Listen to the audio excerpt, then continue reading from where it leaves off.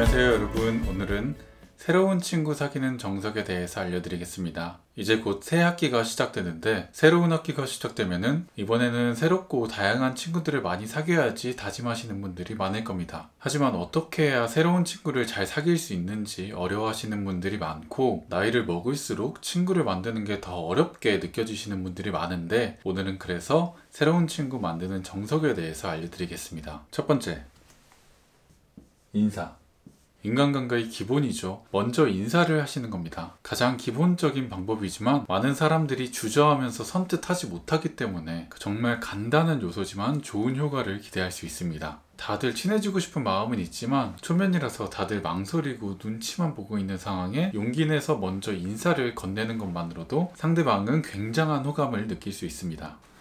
안녕.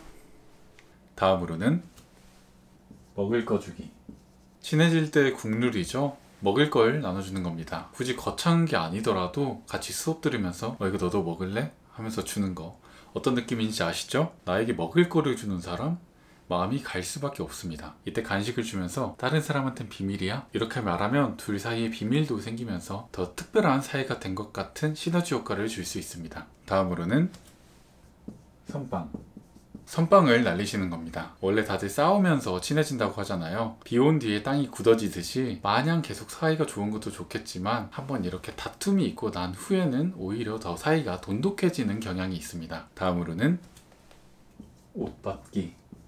옷을 벗는 겁니다. 한국에서는 흔히들 같이 목욕탕 갔다 오면 친해진다고 하잖아요. 그럴 수밖에 없는 게 자신의 가장 프라이빗한 모습을 공유하면 정서적으로 친밀해질 수밖에 없습니다. 그래서 이 원리를 이용해서 나의 가장 private한 모습까지도 너에게 공개를 하겠다 라는 걸 보여주는 방법입니다. 안녕. 다음으로는 스킨십.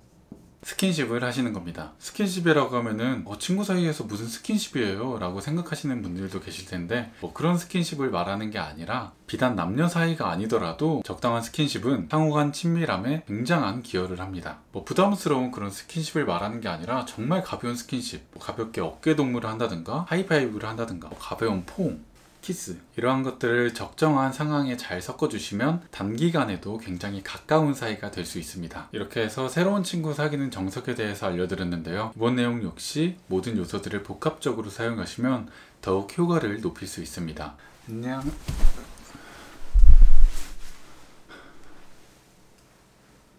다른 애들한테 비밀이야? 네, 오늘은 이렇게 해서 새로운 친구 사귀는 정석에 대해서 알려드렸습니다. 오늘 내용 잘 기억하고 계셨다가 잘 사용하셔서 새로운 학기, 새로운 친구들 많이 사귀시길 바라겠습니다. 그럼 오늘 강의는 여기까지 하도록 하겠습니다. 감사합니다.